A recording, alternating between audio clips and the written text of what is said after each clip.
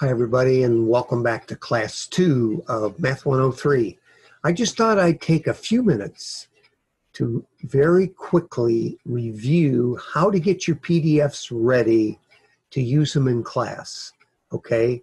And where to save them and so forth, like I talked about in the first demo video. So I thought I'd just review it real quick, show you an example or two, and uh, hopefully that'll make things easier for you. Once you get used to doing this, it's a piece of cake, okay?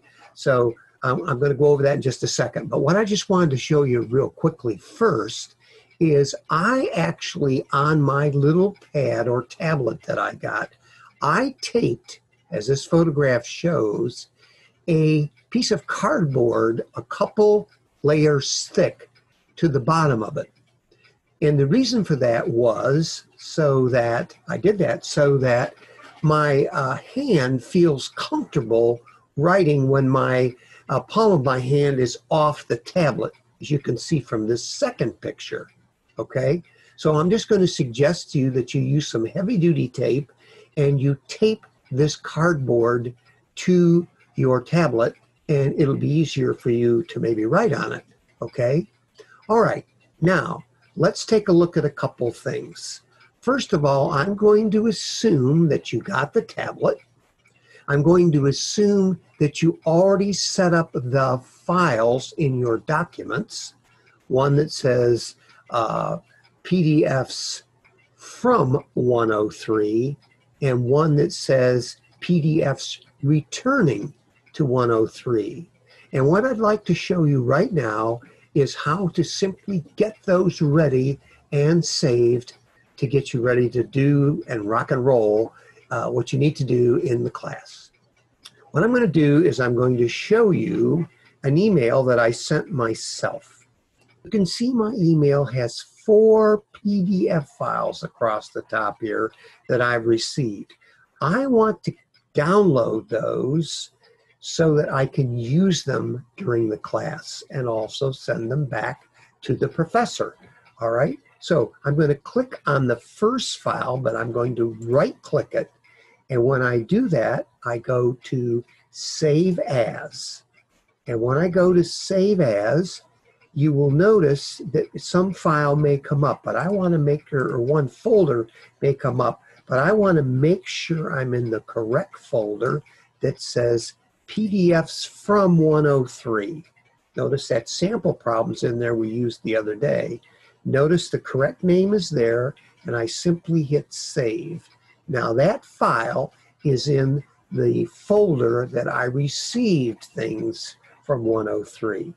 Now I'm going to right click the exact same file again and go to Save As, and you'll notice that it's in the PDFs from 103 folder but I want to resave it. All right. So I click on Documents and I go down to PDFs returning to 103.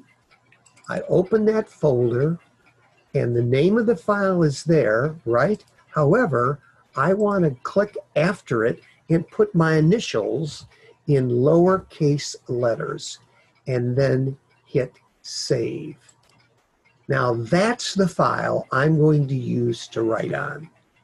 And every time when I'm using the document tablet, all right, and I hit save, it's going to save it on the file name, that group work page two, GSK. It'll keep updating it and updating it and updating it. All right, now, so that is the file I'm going to attach to an email to send back to the professor. All right? Now, the other three files, I'm not going to demo those. You do exactly the same thing. You right click them, put them in the first folder from 103. Right click it a second time, put it in the second folder, get yourself to the second folder, returning to 103, and put your initials after it. And that's the file as you continually save and work on that file. That's the file you're going to email back to me. And as you probably already know, you can send three or four files easily back to me on one email. All right. You don't even have to write me a note. Just send me the file back. All right. Send me an email back with those files attached. I'll know what's going on with them. Okay. So that's how simple it is. So now what I'm going to do is demonstrate writing on one of these files so you can see. And I'm going to show you that when I save it, it stays there. So we'll take a look at that. Now, what I'm going to do is I'm going now back to my documents folder. All right. And in my documents folder, all right, I am going to double click where I put my initials in that folder and I'm going to bring up this file. Now, when I bring up this file, it is now ready to write on. So I simply click my pen and now I can write on this file. And I'm just going to write some junk on here, but all I got to do is just hit this and I can write on here all I want. Now, say I've completed the work I wanted to do on that. All I have to do is go over here to the save button and I hit save. Now, what happens is it asks me, do I want to replace this file over the one that's already there? It's the same name.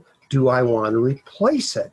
Yes, I do. So I just click yes, and now it's all set. And what I wrote on there is now saved in my returning to Math 103. So every time I hit save over here, what will happen is if I have made any changes at all and I hit save, it asks me, do I want to replace it? And I want to say every time, yes, I do. So the latest change I have done will be saved. Let me put some more stuff on here. Okay. I'll put something down here like this. Okay. I will go to save since I just recently saved there, if I hit save, all right, it asks me if I want to replace it. Yes, I do. Now, here's what I want to show you.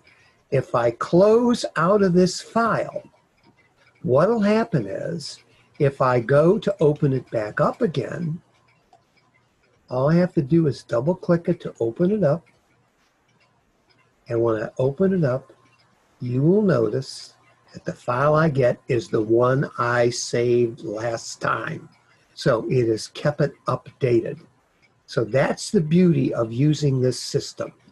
You just keep saving over and over again to the same PDF, and when you're all finished with it, you simply send it to me attached to an email. That all being said, let's go ahead now and take a look at today's lesson.